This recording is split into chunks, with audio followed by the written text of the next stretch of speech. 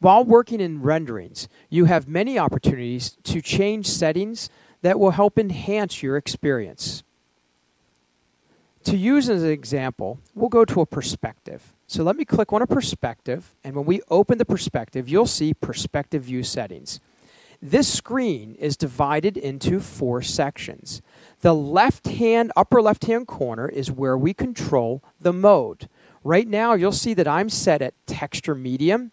If I clicked on the arrow, the drop down uh, arrow next to that, I have options of working in wireframe, hidden lines, working in standard colors, working in textures. Textures is where you'll see actual textures, photorealistic textures as let's say countertops, wood graining, and so on.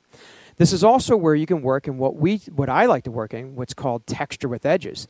Texture with edges is sort of the best of both worlds. It shows you the beautiful texture, but it also puts the thin black outline around all the details on the doors.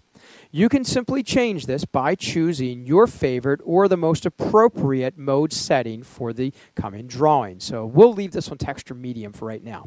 On the right hand side of your screen, you have lighting. Lighting allows you to do a number of things. For instance, ambient lighting. Ambient lighting, that controls your overall room lighting. So when you go in and take a look at your perspective and you decide it's a little bit too dark or a little bit too light, come back, go back into perspective view settings again and simply make an adjustment to this left or right, darkening or lightening your overall room. And below that is ceiling light. In every drawing, there's a light right in the middle of the room. And if you wanted to move it, click place. That gives you the ability to move it anywhere you want within your rendering.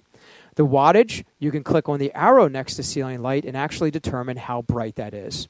Above those are many other options for showing shadows, smoothing light, and even features like light ray, which will show dust in the air, just like you would see dust in a sunbeam coming through your window.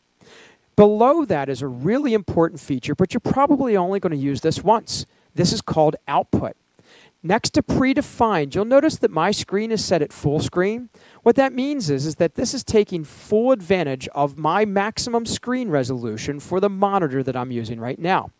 When you first received 2020, you may be set at 640 by 480 that's the lowest resolution possible. If your draw, if you want to make your drawings look the best that they can, you want to move to full screen in order to take full advantage of the monitor that you're using.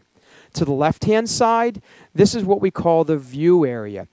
Here you can change a number of things. You can change the height at which you're viewing it at, which is 65 inches right now, which is an average view height for a person. But if you have an extremely tall client, or maybe a short client, or a client in a wheelchair, you can actually lower the, the, uh, the uh, view height or raise it to their height to show them exactly what they would see from their vantage point. To the below that, you have options for 3D and show uh, ceilings and floors. I typically leave those turned on. And below that, where you see ceiling and floor, in a moment, when I do my perspective, you'll see a ceiling and you'll see a floor. How did I place those? I clicked on the Browse button and simply scrolled through all the menu options and picked my favorite floor to show in this rendering. Once you've made your selections, you'll click View. We'll go in and click on a wall. We'll move to the left in this case, and we'll draw a perspective. Now, Changing your settings doesn't stop here. We're in the perspective. We can still manipulate the drawing to our liking.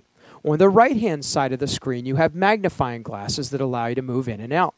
Below that, this is a feature that I use all the time. It's called Change View. Change View allows you to turn your view right and left with the mouse, actually look down and look up just by moving the mouse away from me. You're looking up, moving it back towards me. We're looking down. And if I wanted to zoom in, let's say on this corner, I simply roll the mouse wheel forward and I'm zooming in on that corner. You can zoom in as close as you want. You can tilt down and then pull back and look at your kitchen. You can look at it from any angle, focus on anything that you want in your drawing. Let me go back and recreate this drawing one more time. Let's say that we go back to perspective. And again, in our quality settings under uh, mode, let's say that we change this to hidden lines. We'll click view and let's look at the sink base wall for a moment. I clicked within the workspace and I'm going to pull straight back from it. When this comes up, you'll see that I now have a line drawing. I showed you a beautiful medium texture mode just a moment ago. Now we're looking at a line mode. Well, anytime you want a drawing, you can go to the top of the screen where it says display, and under display, you can change your rendering. You can say, I wanted to look at this drawing in wireframe. Now, this is going to be very detailed. I typically only use wireframe on elevations, but I wanted to give you a quick sense of what wireframe would do. If I click on display and I choose hidden line, we return to the hidden line drawing that you just saw. When we click display, let me drop down and choose a texture medium, which is similar to the drawing that we did last. When I go to view, let's go, I'm sorry, display, let's do one more. And this is one that I use often texture with edges. I use texture with edges because it gives me all of the detail of the wood graining, the countertop material, and so on. But if I zoom in on this, you'll see, let me zoom in on this door right here. You'll actually see the edge profiles on the door, the profiles on the molding. It gives you much, much more detail than just looking straight on at a photo image. It combines the photo image with the ever popular line drawing.